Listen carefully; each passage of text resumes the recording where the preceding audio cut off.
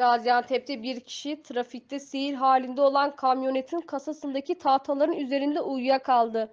Cep telefonu kamerasına yansıyan o anlar pes dedirtti.